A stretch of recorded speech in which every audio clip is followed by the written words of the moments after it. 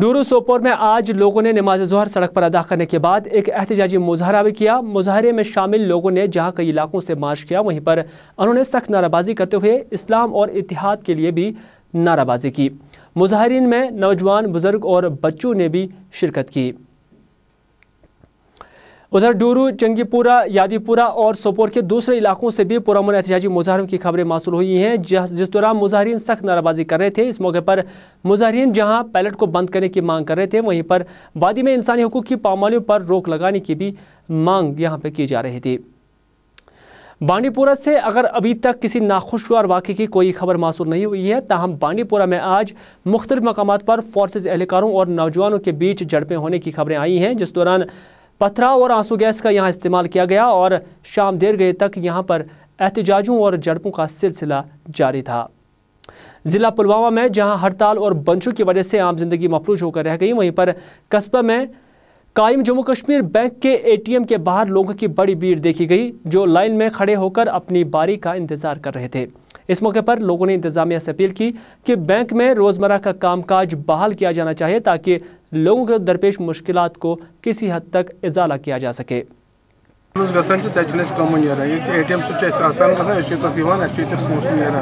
मगर गवर्नमेंट गए अगर मेहरबानी करें कि बैंक तेल त्रा सह सारे खुद असल यह चनवाजन तो बाकी एरियन तक सारे सारे ये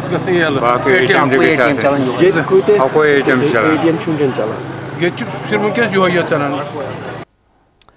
रंगवार बारामूला में मकामी पढ़े लिखे नौजवानों ने कश्मीर में मौजूद सूरत हाल की पेश नज़र मकामी दरसगाह में कोचिंग का मुफ़्त इंतज़ाम रखा है, जहाँ पर मस्कुरा पढ़े लिखे नौजवान बच्चों को मुफ़्त और रजाकाराना तौर पर तालीम फराम कर रहे हैं।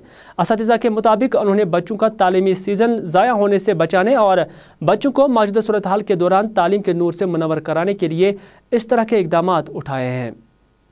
तो जैसा कि आप जानते हैं, कश्मीर के हालात जो हैं जो आजकल बुरी तरह से मुतसर हैं, बहुत सारी शोबे में मुतासर हुए हैं।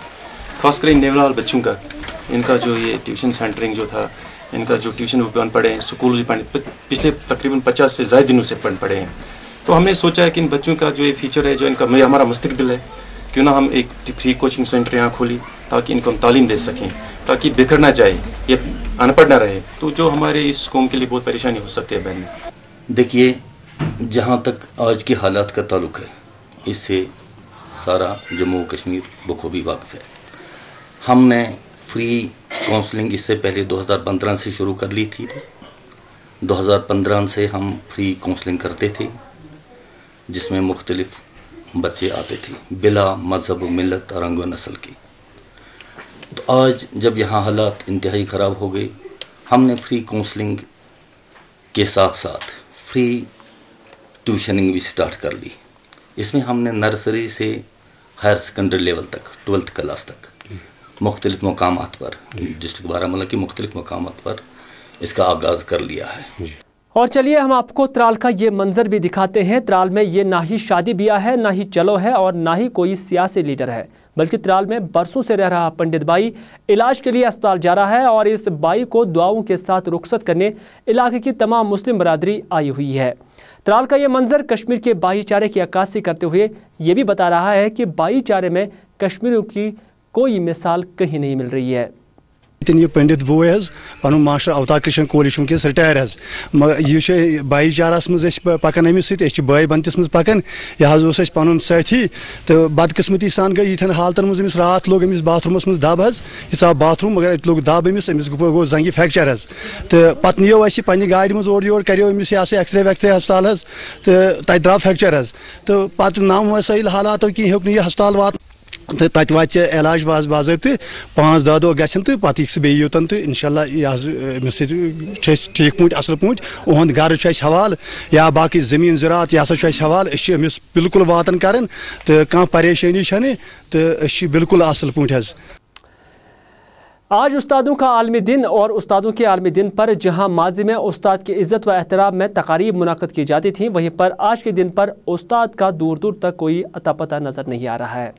उस्ताद की हर दौर में ताज़ीम हुआ करती थी, उस्ताद को मेहरबान समझा जाता था, लेकिन माजी के दौर के बाद हाल में उस्ताद कभी सड़कों पर नारेबाजी करते नज़र आता है तो कभी जेल की दीवारों के पीछे। इसलिए सिर्फ़ उस्ताद को ही जिम्मेदार नहीं ठहराया जा सकता है, क्योंकि जैसा माशरा होगा, वैसा ही उस्ताद इस माशरे में जन्म लेगा। लेकिन फिर भी उस्ताद की अजमत को आज भी माना जाता है, और उस्ताद को आज भी तालीम के वज़ीर नईम अख्तर ने भी याद किया, और तालीम के वज़ीर नईम अख्तर ने जहाँ पिछले साल के अददुशुमार बताते हुए ये भी बताया कि हमारे माशरे का उस्ताद कल भी इज़्ज़त व एहतराम का हकदार था, और आज भी उसकी इज़्ज़त कम नहीं हुई है।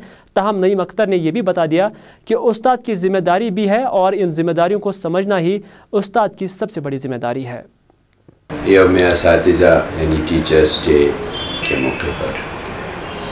तमाम टीचिंग कम्युनिटी को मुबारकबाद देता हूँ। जम्मू कश्मीर में जिन्होंने बहुत मुश्किल हालात से लड़के पिछले साल से लेकर आज तक जम्मू कश्मीर के तालीमी निज़ाम में एक नई जान डाल दी। और अब उम्मीद की जा सकती है कि जम्मू कश्मीर का जो तालीमी निज़ाम है, वो इन वाकई डगर पर आ जाएगा।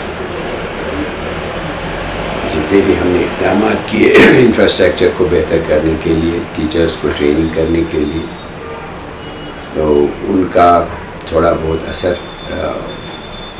हो रहा है ज़ाहिर।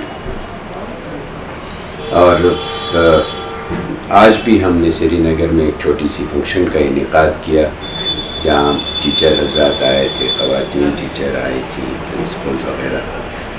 तो इसमें हमने आज एक नए ट्रेनिंग प्रोग्राम का आगाज़ किया जम्मू में, श्रीनगर में, जिससे हमें लगता है कि टीचर्स अपने आप में एक नई महारत हासिल कर सकेंगे और बच्चों को उसका फ़ायदा होगा। मुझे लगता है कि इसमें सोसाइटी को खुद अपने हाथ में लेने की ज़रूरत है, क्योंकि हर गाँव में हमारा स्कूल है, इसी तरह जिस तरह बिजली का निज़ाम है, जिस तरह पानी का निज़ाम है, इस तरह स्कूल भी है।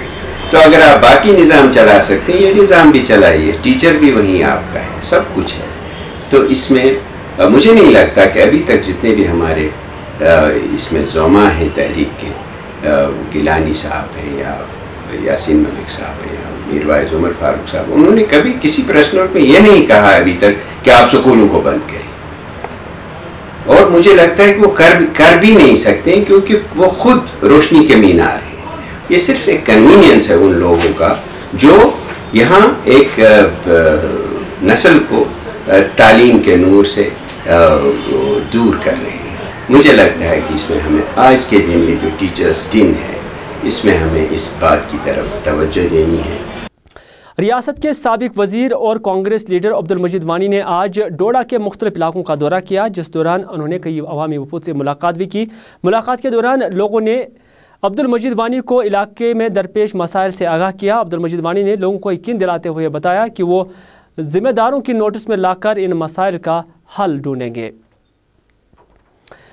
नाजन, ये था आज का उर्दू खबरनामा इसी के साथ दीजिए अपने मेज़बान मीर हिलाल हाजिर को उर्दू खबरनामा यहीं पर इख्ताम करने की इजाज़त। इस वाजे के साथ कि अगर ज़िंदगी रही तो आपसे फिर होगी मुलाकात। तब तक के लिए दीजिए अपने मेज़बान मीर हिलाल हाजिर को इजाज़त। खुदा हाफिज़।